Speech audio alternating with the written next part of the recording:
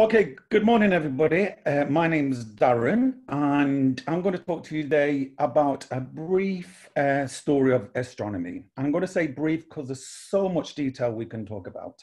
I just want to talk about some of the key players and some key events that have happened in astronomy that helps us understand where we are today. So that's me on the picture, and that is my wife. Um, I just wanted to tell you that was our first date we went to this uh, telescope, radio telescope in Macclesfield, and this was one of the radio telescopes that actually tracked the moon landing. So we, um, my wife knows the interest that I have in astronomy, and um, yes, it's it's an amazing place if you ever want to go and visit. Okay. So we want to talk about some key players, and here I'm just going to give you a list of them, and just take a moment to think of the ones you may have heard of in, in time. So we've got Hipparchus, we've got Ptolemy, Copernicus, Tycho Brahe, Kepler, Galileo, Newton, uh, Halley, Herschel, and his sister Caroline Herschel, Einstein, and Hubble. So you may have come across some of these when you've studied science. Um, I think it's really sad that they're not necessarily household names, and yet they've done great things in astronomy. So why should we study astronomy? Why should we learn about astronomy? Well, first of all, there are lots of things that come from learning about astronomy. For example, the space program. We get lots of by we get a byproduct like biomedical equipment. Even the humble CD player was a product of, of, of the space program. And lots and lots of things that we get from just going into space because of the technology involved. So when you look at all these people, how many people do you recognize? I will be talking about most of these in a little bit of detail. Um, you can see there's a sort of time lane, time scale there that puts them in order. I'm not going to be talking about Einstein. I think there's been a lot said about Albert Einstein, but he's certainly a key player.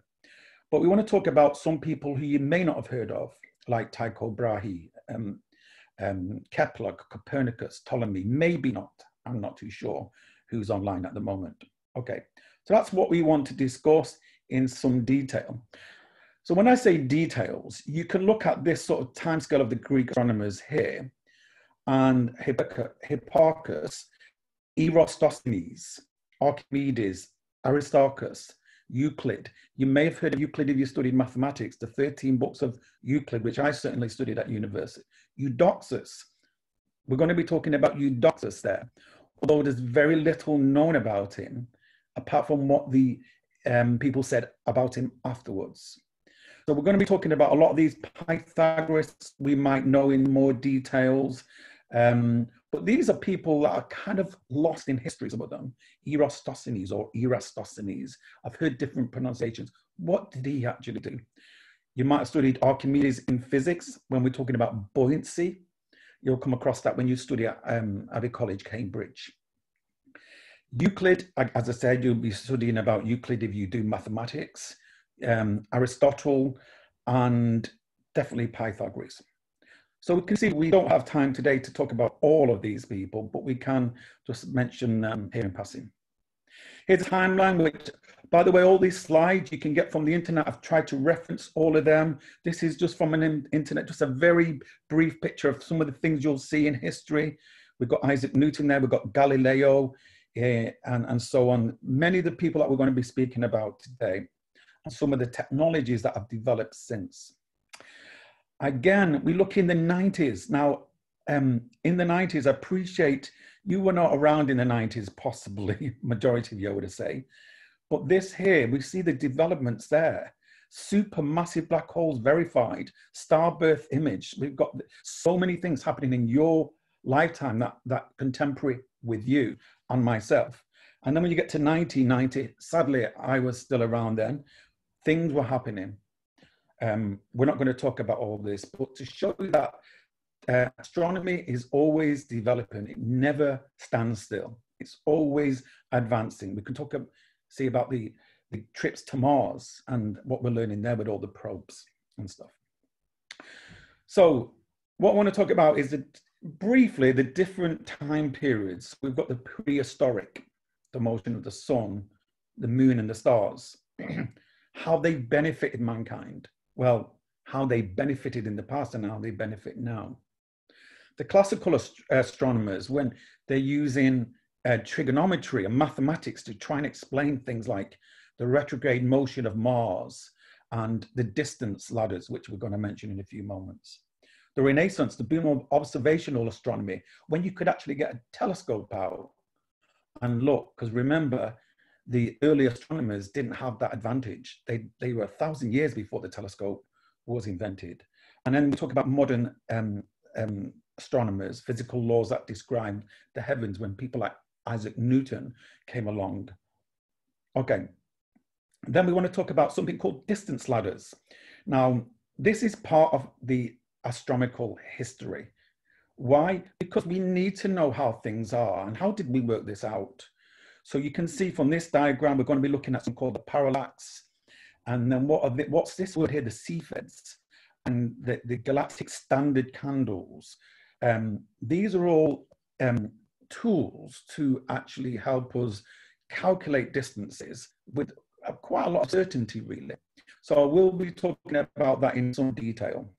Some of the people who actually helped us understand distance ladders. Uh, and then I'm going to talk about multi-wavelength universe, which is our modern um, um, understanding of astronomy, how we're looking at certain objects, no longer with just our eyes, but with different wavelengths, like the, um, the X-ray telescopes or the radio telescopes. So for example, some people of, uh, of antiquity thought that the, the universe was so big, but then when they started to use telescopes, we realized we were just looking at gas and some of these telescopes penetrated the gas, for example, the hydrogen gas. Radio telescopes penetrated the hydrogen gas and they could see so much more. So we're going to be looking a little bit about multi-wavelengths. I want to conclude with a little uh, sort of story, really, that um, a guy called Carl Sagan uh, spoke about. It's a very touching tribute to astronomy. He's, he's passed away many years ago, Carl Sagan. Um, I'll just talk about it briefly now, but uh, when Voyager 1 was finishing its task, um, it was commanded to turn around again and look one more time at the Earth. And there it is, the Earth in a sunbeam. But Carl Sagan talks about some really good lessons for you and me to understand. And I, that's how I want to finish my little talk today. so again, all these slides are available on the internet, so you can get them, but I just kind of compact them together with my experience to try and explain one or two things. So how did we get to where we are today? Well, it's interesting. We stand on the shoulders of giants. The people in all around the world and this is what's beautiful about astronomy. It brings all cultures. No country or no individual has dominated because it's gone on for so long. We've got the Greeks, the Egyptians, Asian, European, Islamic, Indian scientists, all contributed to our knowledge today of astronomy. How do we explain things? Well, one person said this, and the next person come along and continued that knowledge and built on that knowledge. People have died when they said something different, when they believed one thing and it was contrary to what some religious groups thought. So it can be life and death, our understanding of the planet.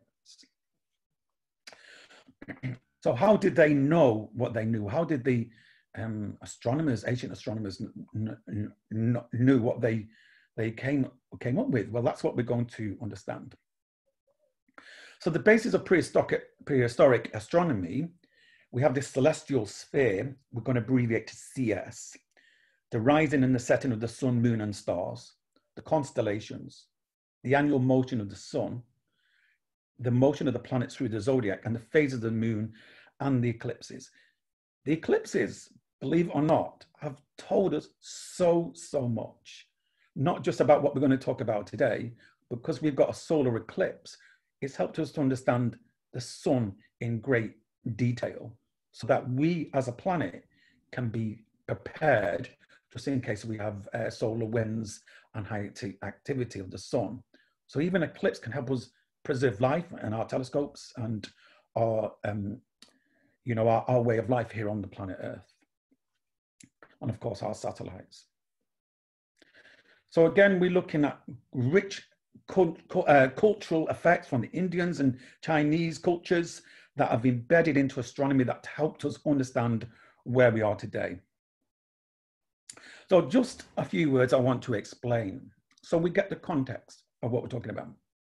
We've got the word geo, which means earth, and helio, which means sun. Centric means centered. So we're going to be talking about understanding of what we mean by geocentric uh, model or a heliocentric, heliocentric model. Now, you might not think that makes much difference, or it might be common sense that the sun is in the center of our solar system. Well, that wasn't always the case. And people fought hard to back and support the geocentric um, the model. So most, most ancient Greek astronomers believed that the Earth was the center of the solar system and the universe, with everything orbiting in it, which is called the geocentric model. So we were the center of the universe. Carl Sagan really puts it nicely when he talks about what we are a little pixel, he calls it, a little pixel. We're nowhere near the center of the universe, but that's what some people believed for many, many years. So ancient Greek astronomy, most ancient Greeks believed that astronomical objects were perfect, unchanging spheres and orbited in perfect circles around the Earth because it had to be a circle because that was perfect, following different physical laws from those on Earth. And again, this was disputed by Copernicus, Kepler, and Galileo 1,000 years later. So although they had many wrong ideas about the solar system, the ancient Greeks made many important astronomical discoveries. And you can see this picture here is got the earth in the center and you can look in the pages of history and you'll see lots of references to the um, geocentric model.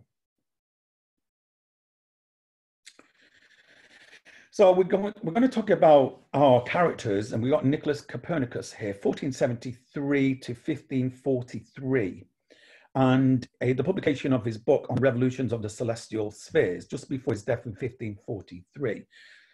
But interesting model here. So we have the yellow sun, the blue earth, and the red um, Mars.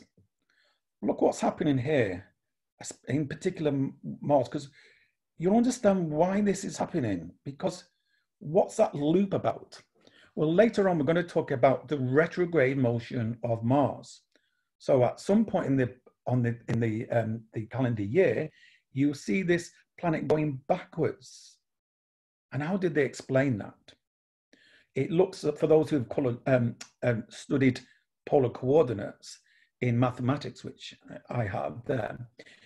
It looks more, more like one of the formula, like almost like the cardioid um, that you study in polar coordinates. For those who have studied mathematics at that level, will know what I'm talking about.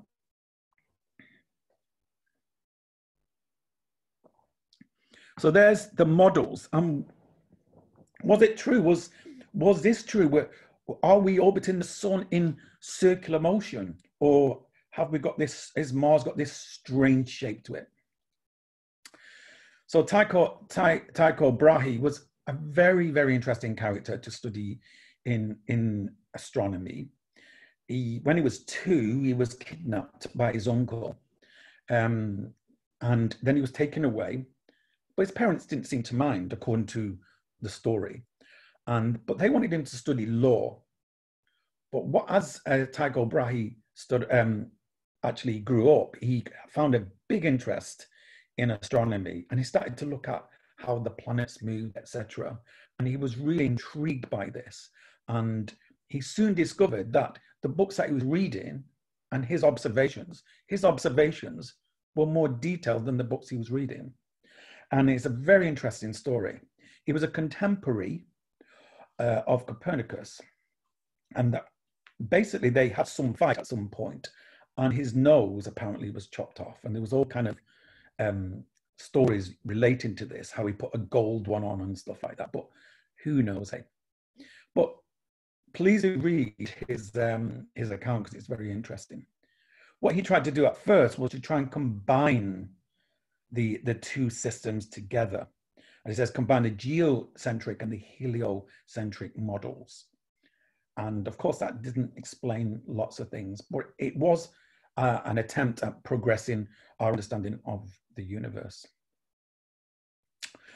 Johannes Kepler, excellent. Again, for those who have studied mathematics, you will study the ellipse in great details and you study these things um, called vectors. And you can see the velocity uh, and acceleration going to the center and you've got the resultant force going in. But Kepler said, actually, we're not going around in circles. We're going around in these ellipses, which is um, how, how we understand it to this day. Galileo, when I first looked at a telescope and looked at Jupiter and I saw the first four moons of Jupiter, the, the main ones, well, he was one that discovered them. Um, and he wrote this book, Two Chiefs World Systems, and argued for the heliocentric model. I'll come to that later on, but the, the book, he kind of put two arguments forward and he really was told not to take one side, but he actually did in the end. Um, how many Ju moons has Jupiter got? Well, I, I, to be honest, I don't know. The last count was 63 because things are going around Jupiter. They're not sure always. I think I'm at 63, but there are four main moons of Jupiter. Now, I want to talk a little bit about um, distance ladders, how we understand distance ladders. Now, I won't have time to go into the details, but the slides you can have a look. Um, what do we mean by distance ladder? In other words, how can we calculate the distance to the next one? So first of all, how can we work out the distance of the Earth, the Earth to the Moon, etc., etc. So 240 BC. Now Eratosthenes, he was in Cyrene, and what he then did, he was sat at the uh, a well, and because it was the solstice, the summer solstice, he knew that the sun's rays come down in this well perpendicular. So he sat at a well, and all of a sudden, this ray of sun comes down, and he can see the sunlight is directly above. Most of us possibly would have just walked by. But he said, no, that's interesting. And he then discovered, I've heard different stories about this. He paid a friend to come and do this, or he walked all the distance. He then um, realized that in Alexandria, the, there was a seven and a half degree shadow. So this was very interesting because he thought, well, oh, we the circumference of the Earth, we can we can calculate this out. Now, without going into the too much details, you can see if you if you apply corresponding angles at basic level, you can see that these two angles here correspond. They're equal. Bit of basic mathematics, geometry. And then he knew the distance.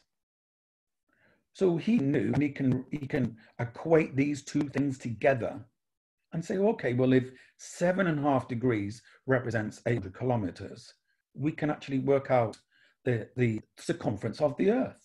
And he did and he got um, 38,400 miles, uh, to, sorry, 24,000 miles. And we're going to talk later on how close that really was. And it was a very, very good result for it. So now they know the circumference of the Earth, more or less. So Aristarchus, so here he is, what he wanted to do, there he is. I'm not too sure if that was him. to be honest, we have these statues, and I'm never sure quite well if this is the right person. Who knows? There's no photography around in those days, which I, which I, I then I'm not sure how they've got this. But there you go. There's his work, Greek astronomer, and very clever what he did. He looked at the sun, and he looked at the earth, and he knew that at some point the earth would block the moon and he could work out how long this took. So if you can see the next diagram there, the moon at the onset of the eclipse, the moon at the conclusion of the eclipse. So he then thought, hmm, that's interesting. And he decided that he could then work with, for the mathematicians amongst you, similar triangles. He could start to use similar triangles, and there's his lettering, and he can start to put these triangles together to see if he can ascertain or work out the distance, the size of the moon, and also um, the distance from the, from the Earth. This is going to be on your slides. We don't need to go into details, but it's simple maths, really. It's just ratios and um, it's not calculus or anything, simple um, ratios and similar triangles. And there we are. There's his, his reasoning. And then he concludes with the fact that the, the radius of the Earth is 3.7 times the radius of the moon. So he propagated a test, test um, territorial measurement for the radius of the Earth, which can be gotten easily from the circumference to a celestial measurement. Terrestrial, sorry, excuse me. So it was very clever, and he did that. And Hipparchus did something similar uh, with similar triangles and eclipses to work out the distance uh, from the Earth to the Moon. So what does that help them to do? As I said, this is a distance ladder. So now they know how far away the moon is. Well, that can help them work out this distance here, the Earth to the sun. How? Well, we know that if you've got the moon and half moon, you can calculate this angle because then this makes this perpendicular. And then what you can do, you can do a bit of trigonometry as long as you can measure this angle. Now, they didn't do it perfectly, uh, but they did have a go. And you can see the cosine, if you use trigonometry, the distance from the Earth to the moon, cosine theta or cosine A in this case, you can actually calculate this distance here if you if you've done any trigonometry. The Greeks were not very good at as the angle is hard to measure. It's true. It's been angle A should be about that. It's it's it's a lot more precise, I think, than that now. So the distance obtained should be about 150 million kilometers. And then they can work out the diameter of the, the, the sun as well. They can, we can work these things out using basic trigonometry. So again, if you want to look at that, testing values out or go on. So the distance from the Earth to the sun is called an astronomical unit, AU. So here's the latest value I've got. 149,597. Oh no, so that's not. That's that's billion, sorry. Or 92,955 and 807 miles, roughly the average Earth sun distance. So that's a very important unit. So when you see your textbooks, you'll see the AU astronomical unit. And it's, it's so, so important for measuring things and getting things right, for sending people into space on missions, probing, pro sending probes into space. This unit was very important in understanding. We also used the, tran um, um, the transit of Venus. So when Venus would go across the, um, the sun, we can use these calculations um, and as well as asteroids were also important. Kepler's law we're going to come to, well, we just mentioned them, provide precise ratio of the size of the orbits of subjects revolving around the sun, but not a real measure of the orbits themselves. So they've used them more sophisticated ways to, to calculate this. But we're pretty much there with the astronomical unit. This diagram, I'm just mentioning it now because we have to kind of explain the stars. Now the stars are at so so many distances apart. They're not in one sphere, but they try to explain them for some kind of coordinate system, as though we've got this big sphere around the Earth with all these stars on the, the equidistance. That helps with the that helps with um, coordinates, etc. It's not actually true because there there are so many distances away from us. A line drawn. Remember, the Earth is not a perfect sphere. I mean, this globe is not a perfect sphere. Neither is the the um, the planet Earth because we have this little bulge in the center. Okay, what I want you to do now, if you're listening, I want you to get your thumb out and look at an object with your left eye, and then look at it with a right eye. Left, right. What happens?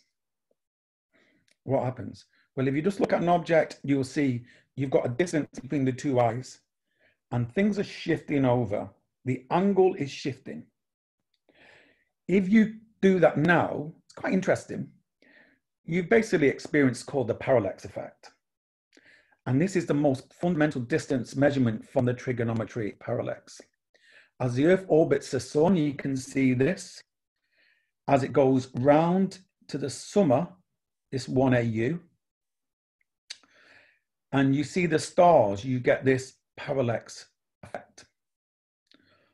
So what we do, we can actually use this effect to help us find the distance to stars. These shifts are angles in a right angled triangle. You can see this. Uh, this is 2AU, making the short leg of the triangle, and the distance to the star being the long length, this one here. The amount of shift is quite small, measuring one arc second for an object, a distance of one parsec. Now this here will be one parsec there, and it's approximately 3.26 light years. So astronomers, you'll, you'll hear the words light years and parsecs used in astronomy as a, as a um, guide to distances. Therefore, decreasing in angular amount as the reciprocal of the distance.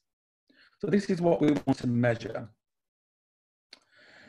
So as I said to you there, we, we express things in parsecs, light years are used in popular media, but most invariable values in light years have been converted from numbers tabulated in parsecs in the original source. So please do, you can find these calculators online if you want to use them, but you'll, you'll come across these in lots of astronomy books. And that's really reiterating what I've just said there. So this is how it works really, and you will come across this, just go back one. You've got this Earth and Sun, and you've got these distant stars. Well, these are not really moving, are they? So in December, you're, you're there, and in June, you're over there. So you've got this line will continue through. So what you've got from this, you've got an angle, the parallax angle. Hopefully you can see that. So this is one IU, and you can actually, just go back there, sorry. This is one AU, and you can now work these things out. Um, and you can work out the distance using the parallax effect. Very powerful. There is a limitation on this. As I showed my first slide on distance ladders, it only takes you to a certain point. For some really distant stars that are many, many light years away, we move on to a different uh, method, which we'll come into in a few moments. There is an example of this. Okay, uh, Bessel, Frederick Bessel in 1831, this little star that you may or may not have heard of, 61 Cygni. Well, basically, this one was the first one that was measured. The distance of this star was measured using the parallax. And um, he got 10.4, which was very close because it was 11.4 light years, which is a huge distance away, really. Um, and it was the very first one to, to be measured as a um, stellar parallax. Now, I thought I'd throw this little slide in because the star is about 720,000 astronomical units from the Earth. This is 100 trillion kilometers away. Now, you can see this animation here now. What's, what's the two star? What are the two lights? Well, actually, it's because this star is in a binary system. And in astronomy, many, many stars come in twos and they circle one another. So the Earth is more unusual because it's on its own, but many, many stars um, come in, in, in, a binary pair. This is um, common in the universe. I did actually know the distance between these two, but I can't remember. But we do know um, the star is about 720 thousand astronomical units away. Okay. Standard candle in an astronomical object that is known when you know its absolute magnitude. So what happens when we get distances further? So we need some kind of standard candle. We need some kind of reference point that we can say, if this is a certain brightness, and we're dimmer or brighter, we can say, well, it's nearer or further away. And this is the method that we use. This is a formula for those who do maths. where the m, the small m, is the apparent ma magnitude, and m is the absolute magnitude, which we can ascertain or work out through spectroscopy. And d is the distance in uh, parsecs. So if you are seeing different formulas or different versions of this, it might be because you are in a different unit. So we can actually rearrange this if we know these two values to get the D value, okay? I'm not deriving this formula, but how clever was the person who did that? That's really incredible. But let's talk about a little bit how this came to be, how we came to get this formula. There we go with the uh, standard candle, the astronomical unit.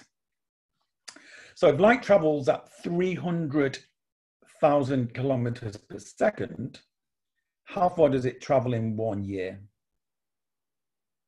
So this is our light years. Hmm.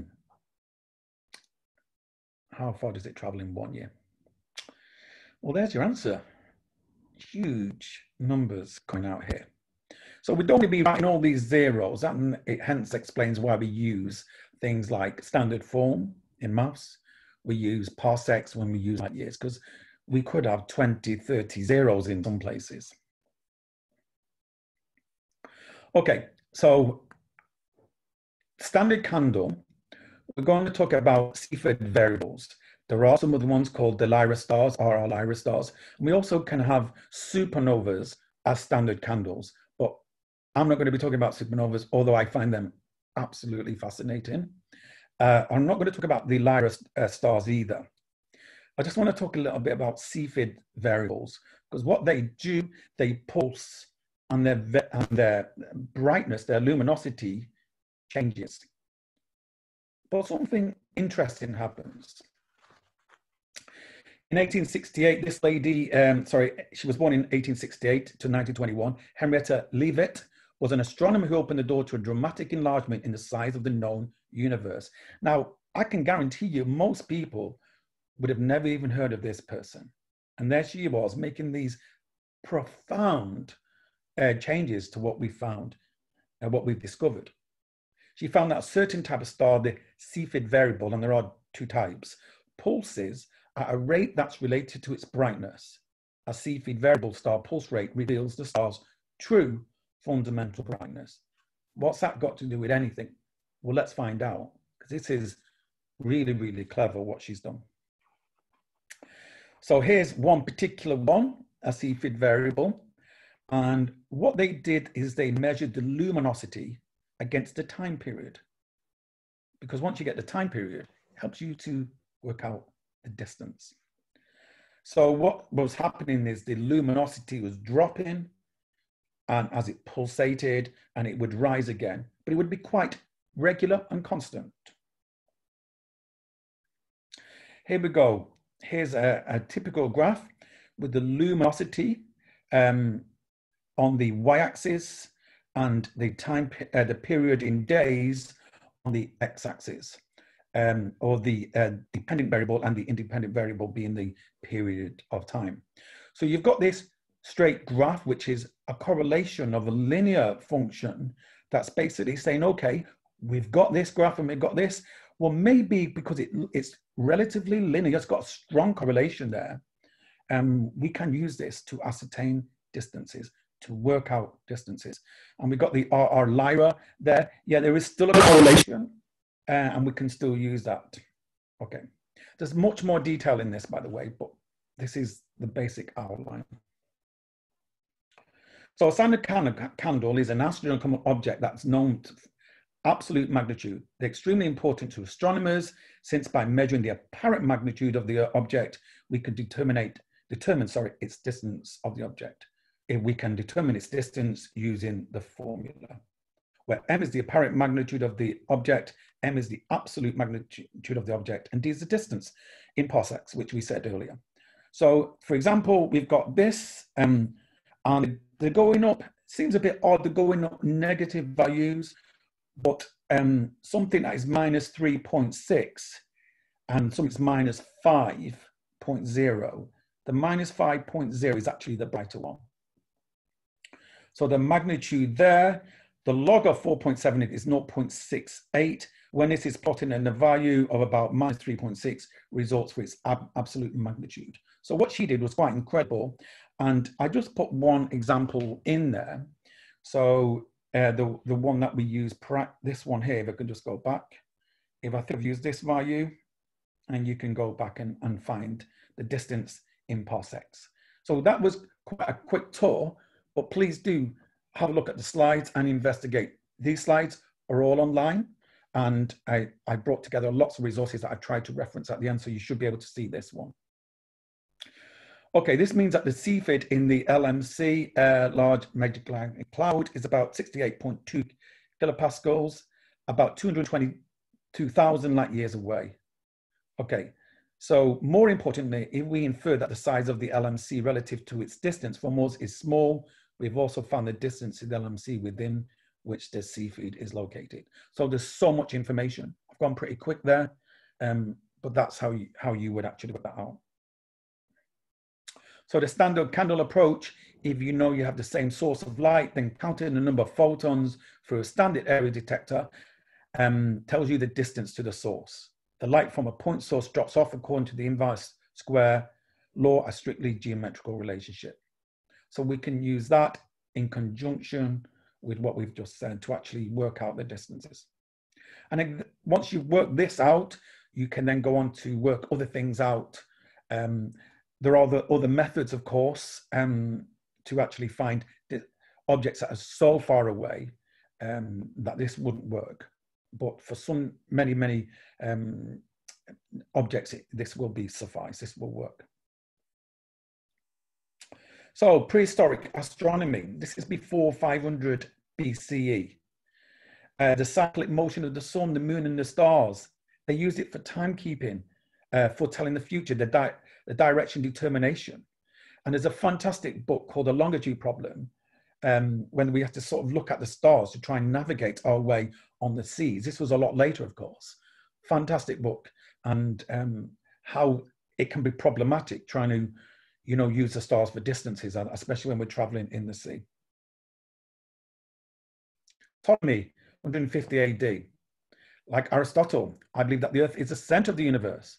The sun and five planets uh, orbitals, boom. So this was quite common for us to have this geocentric idea. Here's a model of what it looked like. And this didn't explain a lot of things. Problems. There is a video here. I'm not going to watch this video, but it's there for you to um, to have a look at your leisure. Uh, there is one I might play shortly. This is about Egyptian astronomy, uh, which is very, very interesting. We just don't have time to do today. So here's what's happening with the, the stars scattered at all different distances in this, this model here, but we can model it as in it was one big sphere and they are all at different distances. I mean, equidistances. It's not, of course, true. And then the the the um, what they tried to do was explain the constellations with these diagrams and zodiac diagrams. I think this might be the supernova that I'm, I'm talking about soon of Eudoxus. Uh, I can't remember if this, this where I'm pointing my um, mouse there is, is the actual location. I think it is. I'll double check that. The motions of the planets. Um, Asians observed bright stars that seemed to move through faster than others. Stars, inverted commas. Of course, he was talking about planets observed to move through the same narrow band of the sky, the zodiac, because planets lie in roughly the same orbital plane, but ancients did not know this. Now, this was a real head scratcher, literally. You see this here, this red line what was actually happening here is some of these moving stars, as they called them, was kind of doing a loop. What was going on? They, they, it was puzzling people, especially if you were supporting the geocentric model. What's going on? So there was many benefits from using astronomy. Farming come as a practical need for a calendar as civilization developed deeper meanings were attached to astronomical phenomena. an overall trend, the more settled the culture became, the more religious meanings became attached to the sky. Um, and we're talking about the roots there that, you know, already in the Stone and Bronze Ages, we see this mo mon monuments dating back to 3000 BCE showing alignments with astronom astronomical significance. That's what a long time ago. This thought that this um, CS, celestial sphere, was unmovable and it was unchanging. Okay. And when we see things here, like the, the eclipse and, you know, when the moon becomes darkened, sorry, it becomes red in color, they kind of freaked people out and they were served as omens. So good and bad luck. The Babylonians then come along and made the zodiac. And then the Greeks described these moving stars as wandering stars, which is what the word planet comes from. It means wandering star. We can see in Egyptian culture the, the pyramids lining up to, um, for this one, shafts from the king's chambers indicate location of Polaris, the North Star, 5,000 years ago. I did read once, I don't know how true this was, there was even knowledge of flight, but they certainly had an interest in, in the, the heavens, the Egyptians cultured, culture. I spoke, spoke about Eudoxus before, how they kind of explain the universe with these nested spheres. Um, but interestingly, they said that the earth was imperfect, but the heavens were perfect. Because the earth had all these mountains on and stuff like that, and it was changeable. Um, and so this is some of the things that Eudoxus and Aristotle spoke about. And that's Eudoxus' me method, uh, how he explains the retrograde motion.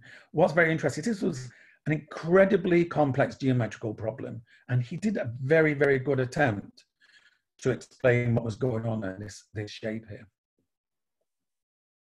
Again, just say an illustration of um, how the Egyptians would line up their sort of uh, windows, if you like, to certain uh, constellations. And I said, look, at certain points of this beautiful ellipse here, you've got the solar and the lunar ellipse there. This is absolutely beautiful. We are the only planet in the known universe that has one of its satellites or its moons that gives a full solar eclipse. And understanding these events, and then we have the lunar eclipse when it's called red. And this was kind of omens. What is it? Was it a bad thing? Was it a good thing? Because they thought the stars told us everything. But today we understand this in a lot more details. we haven't really got time to, again, look at the videos today, but this video is about Eros Eratosthenes, how he basically discovered, um, how he basically discovered the, the circumference of the Earth, which is in a bit more detail than I talked about before. I think I do mention him again now, yes. So the big players in 500 BCE, this classical astronomy to 14 AD, was Pythagoras, Aristotle, and Eratosthenes pioneering in determining the size and the shape of the earth, and so on. So Pythagoras, his ideas would influence generations of scientists and philosophers for centuries. They were almost viewed as gods, some of the uh, mathematicians and astronomers. The solid body we call the sphere is perfect. What is meant by this? Naturally, the gods would model the earth as a sphere during the creation. True, but some extent we've got this um, equatorial bulge and some scale deviations from like mountains and canyons and stuff like this. It's not perfect. Just to reiterate about Eratosthenes, um, this kind of talks about um, a little bit more detail about his actual precision. So this measurement that they used at the time, 500 miles, 5,000 stadia, there was a bit of controversy what that what that distance represented. So there it is, his diagram of how he explains things. But look at this. He got approximately 25,000, but the, the, exact value today, the 24,044, is, is quite astonishing. that he actually got this. And it says that some estimate it's off by 16%, depending on the size of the stadia.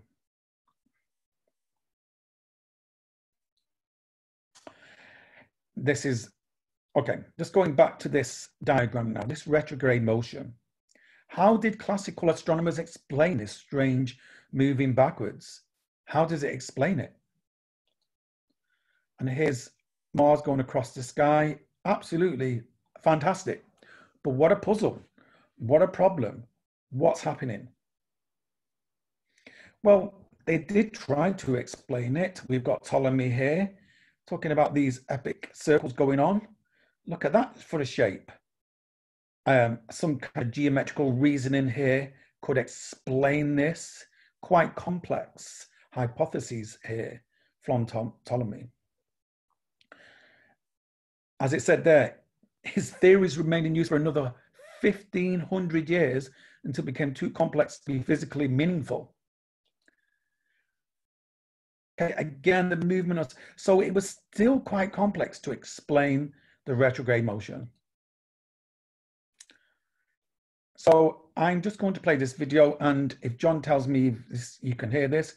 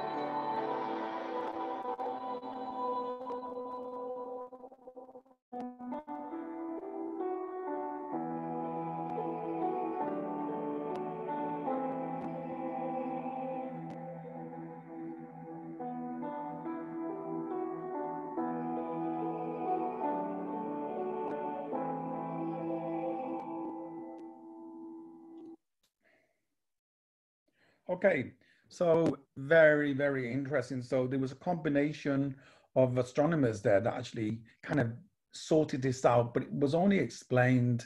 Uh, this optical illusion was explained when we we uh, said that the the sun is actually the center of our solar system.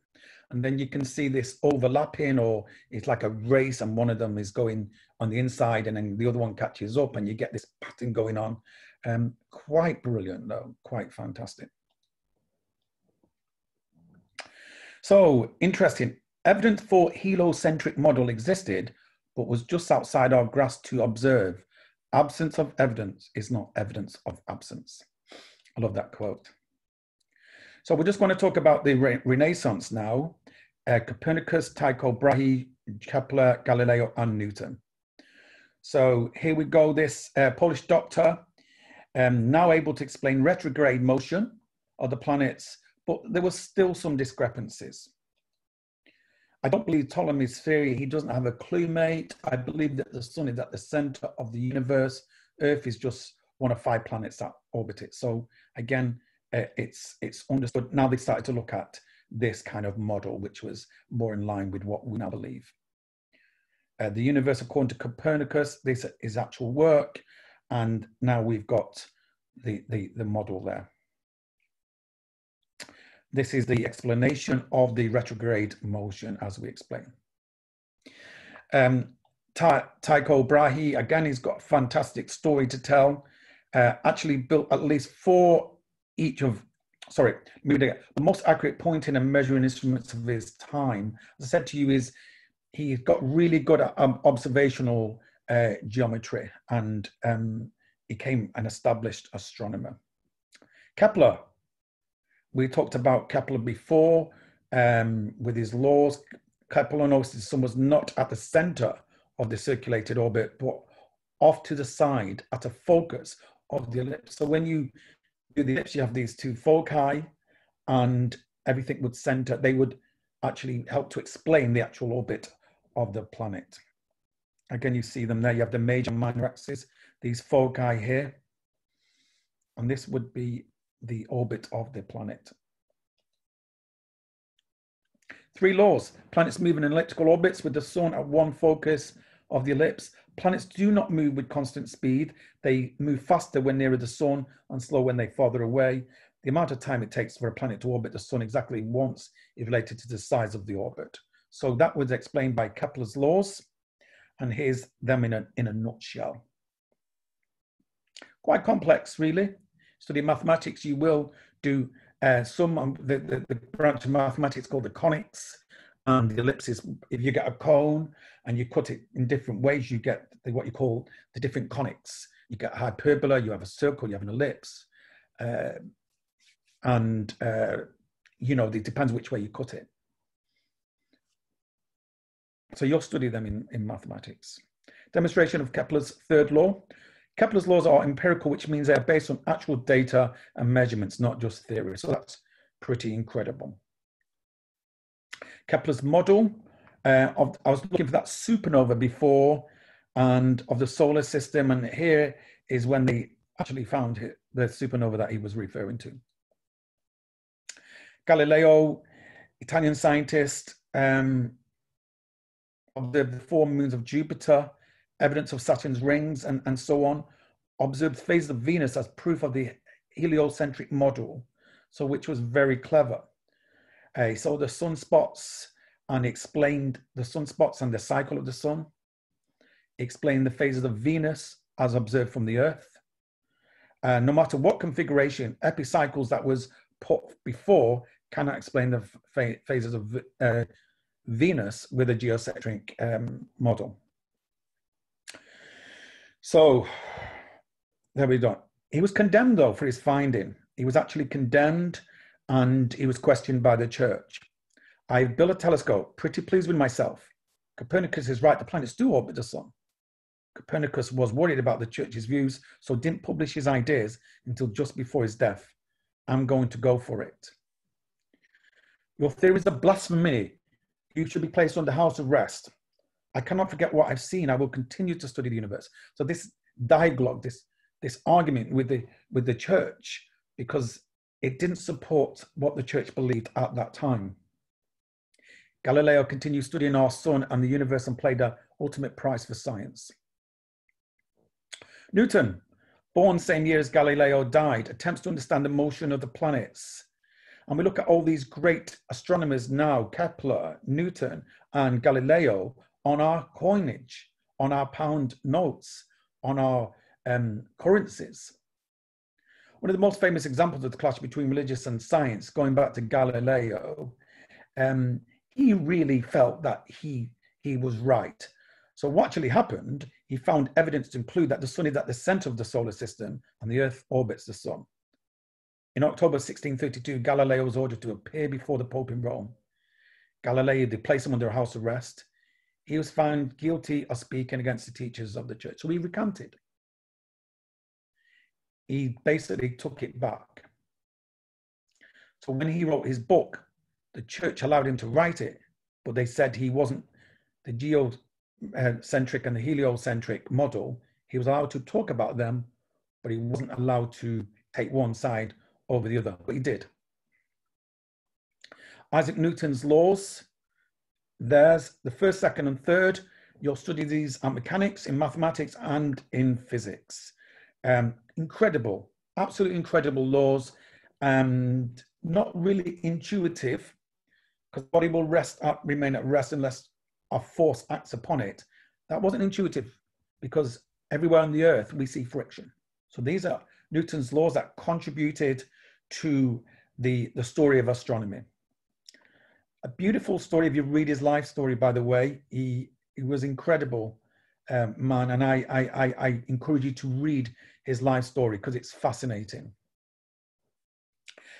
Edwin Hubble, 1890, 1889, 1993. One of the most important figures in modern cosmology is Edwin Hubble. He discovered a, a universe of galaxies outside the Milky Way and showed that the entire verse, universe is actually expanding. In the early 20th century, most astronomers believed that the universe did not extend beyond our Milky Way. So this was controversial, but he was proved correct. Hubble's also discovered that the distant galaxies are moving away from each other, and the greater the distance between them, the two galaxies, the faster they are moving away. This is Hubble's law. Hubble's law shows that the universe indeed is expanding. Okay, uh, George Lemaitre was a Belgian cosmologist and Catholic priest. He studied here in Cambridge. He used Hubble's observations regarding the expansion of the universe and came up with the theory of the cosmic egg. So basically, if you could trace things back, you would get to a single point in time, and we call this the Big Bang theory, which was correct. And there he is there. Caroline um, Herschel and um, William Herschel, brother and sister, um, both really working together, studied and found Uranus and many other objects in, in, in astronomy. So he was um, fantastic, both him and his sister, but not always recognized. Caroline Herschel was not always recognized. But there it says the catalogue of nebula she produced brought her the British Royal Astronomical Society's 1828 gold medal, which is quite unusual for a, a female at that time to be involved in astron astronomy, but she was fantastic.